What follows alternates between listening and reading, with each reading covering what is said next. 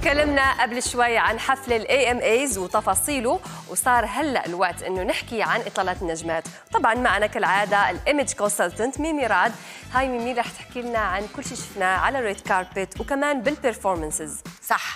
آه هو من أحلى الشغلات اللي نقعد نتفرج على ال red carpet صراحة. بالنسبة لنا إحنا البنات حرام. بدنا بوب كورن كأنه بنحضر movie ابدا. لازم لازم نفكر فيها هيدي الجلسة. عن جد. خلاص نعملها. طيب خلينا نبدأ مع جينيفر لوبيز اللي شفناها كانت لابسة very nice dress بالنسبة لي. pink آه، من آه، جورج شقرة. شقرة، صح. ونسقت معه black accessories وكمان كانت حاطة ميك اب سموكي هي هيدي العلامة تبع دائما بتحط هالنوع من ال make up وكثير حلو. شعرها الفستان اختيار رائع. آه علما إنه بركي مك أنا كنت اخترت لون تاني لا لإلها للون بشرتها. آه بس كله على بعضه ياي ب- بقوة. يعني بين الميك اب آه، الفستان آه، آه، صراحة كتير كتير حلو. بس في عندي مأخذ إنه صارت شوي عم بتعيد حالها بهالنوع من الفساتين. يعني كيف يعني ممكن تكون بإطلالة غير؟ يعني خاصة هي دائما عند اطلالاتها ناجحة. فكيف فيها تغير؟ لكن ياي طبعا ميمي هذه الإطلالة اللي تكلمتي عنها هي وحدة أنا شفتها من أحلى الإطلالات كانت لجيلو. كانت لابسة suit metallic. إيش رأيك بهالإطلالة؟ يعني هلأ كنت عم بقول لك لا أنا هيدي طلعت هيك قلت هي هي خلص إنه ما بقى بدي أشوف شيء ثاني آه صراحة ال- ال- البدلة آه، قصتها oversize صح. مثل ما دارج. وقصه البنطلون كثير ناجحة لجسمها.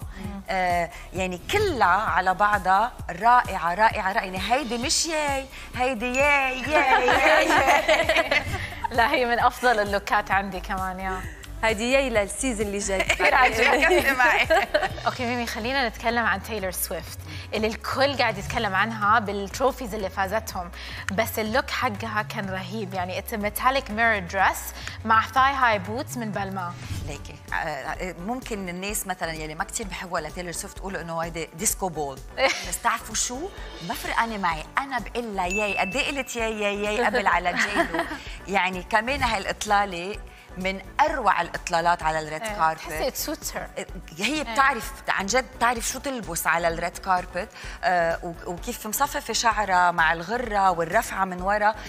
كثير مناسب لإلها. وال focal point على ال over the knee boots مع الفستان وهال mirrored effect يعني أنا بقول كسرت الدنيا. هلا آه، رح نحكي عن كاردي بي اللي ظهرت ب look مختلف تماما عن جيلو وعن كمان تايلور سويفت شفناها.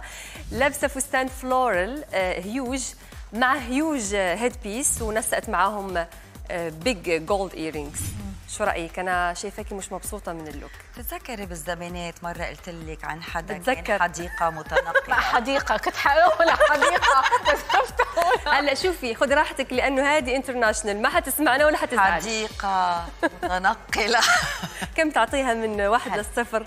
لا لا لا لا خلينا yay و nay خلينا yay و nay بس ما بعرف إذا هي لأنه إذا بنشوف بال performance كمان كانت لابسة آه، آه، فستان ملون و booties ملونين. يعني بركي هي حاطة هالصورة براسها بدها شي كان إطلالات متكاملة. لإلي أكيد nay. هي حاولت تعمل statement ميمي أو لك مش هيك عم بقول لك لأنه حتى بال performance كانت لابسه فستان و bootie و boots كله ملون وب... يعني ما بعرف. بس أنا أكيد لإلي nay. بس بركي هي عندها فكرة براسها أنا ما فهمتها ممكن.